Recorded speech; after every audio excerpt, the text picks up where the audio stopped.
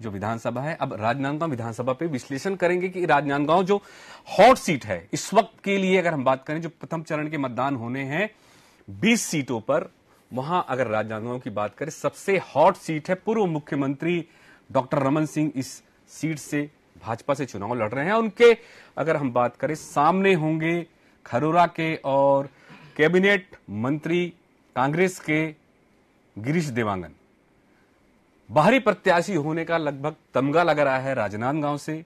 और तीन बार की लगातार बात करें तो बीजेपी वहाँ से जीती है। मैं छोटा सा संक्षेप में भी बताना चाहूँगा, राजनांदगांव सीट लगभग जिला भी है और 2018 में कुल बावन प्रतिशत वोट यहाँ पर राजनांदगांव में पड़े थे और 2018 में भारतीय जनता पार्टी से डॉक्टर रमन सिंह ने जो भाजपा की ही कद्दावर नेता थी, करुणा शुक्ला, जो कांग्रेस में शामिल हो गई थी, उन्हें काफ़ी मतों से हराया था।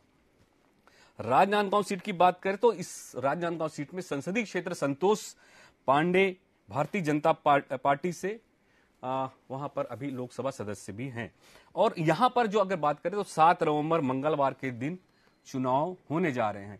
मोहन जी मैं समझना चाहूँगा आपसे राजनांदगांव सीट इस वक्त प्रदेश के लिए या प्रदेश की नज़रों में जड़े जमाई है देख रही है जनता भी देख रही है कि राजनांदगांव सीट पर होगा क्या? चूँकि कांग्रेस लगातार पाँच वर्षों से बेहतर काम किया है यहाँ पर और कहीं ना कहीं पर विश्वास जताया है गिरीश देवांगन पर जो उनके उनके खिलाफ रमन सिंह के खिलाफ खड़े हुए हैं।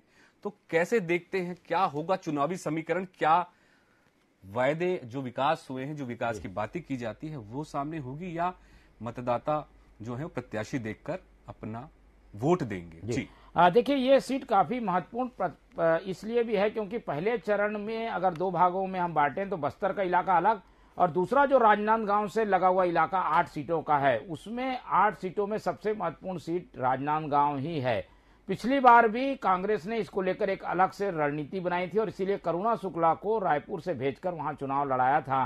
और करुणा शुक्ला बीजेपी छोड़ के आई थी, इसलिए रमन सिंह की नीतियों और सिद्धांतों के विरोध में एक बीजेपी के उम्मीदवार को कांग्रेस से उम्मीदवार बनाया गया था, ऐसा मैसेज दिया था। इस बार भी कांग्रेस ने प्रयोग किया गिरीश देवांगन, जो कि मुख्यमंत्री भूपेश बघेल के बाल सखा हैं, उनके साथ कॉलेज की पढ़ाई किए उनके साथ जब वो अध्यक्ष थे तो महामंत्री रहे, और 18 में सरकार लाने में मुख्यमंत्री के कंधे से कंधा मिलाकर चलने वाले गिरीश देवांगन थे।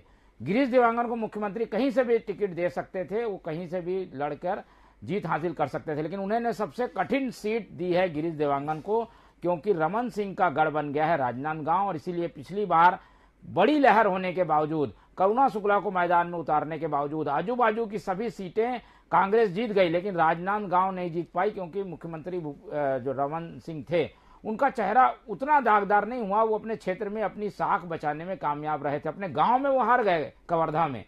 ठाटापुर में भी उनको बहुत नहीं मिली थी भाजपा को। वहाँ अपने प्रत्याशी की स्थिति बहुत पचास, साठ हज़ार वोट से वो हार गए थे। लेकिन यहाँ पर वो अपनी स्थिति बचाने में कामयाब रहे। पंद्रह से सत्रह हज़ार वोट की लीड के साथ जीते थे डॉक्टर रमन सिंह। इसलिए उन्हें घेरने के लिए यहाँ गिरीश देवांगन को उतारा गया। कहा जा रहा है कि देवांगन बस्तियाँ वहाँ काफ़ी ज़्यादा है। इसलिए ये समीकरण को साधना चाहते हैं। मुद्दों की अगर बात करें तो पंद्रह साल मुख्यमंत्री रहने के बावजूद अभी भी राजनांदगांव में शहरी विकास नहीं हो पाया है स्मार्ट सिटी वो नहीं बन पाई है, नालियाँ वैसी ही है जो शहर, सड़कें होनी चाहिए वैसे ही। है ज़रूर फ्लाईओवर बनने से यातायात का जो दबाव राजनांदगांव में पड़ता था, जो महाराष्ट्र से आने वाले वाहन थे, वो कम हुआ है। लेकिन अभी भी कई विकास के काम वहाँ होने हैं, बस्तियों और जो वार्डों का विकास होना है वो काम नहीं हो पाया तो उसे मुद्दा बनाने की ज़रूर कांग्रेस कोशिश करेगी। लेकिन दिलचस्प मुकाबला होगा। एक तरीके से भूपेश बघेल के छाया है गिरीश देवांगन। वो चुनाव लड़ रहे हैं तो भूपेश बघेल की प्रतिष्ठा भी इस सीट पर दाव में लगी है।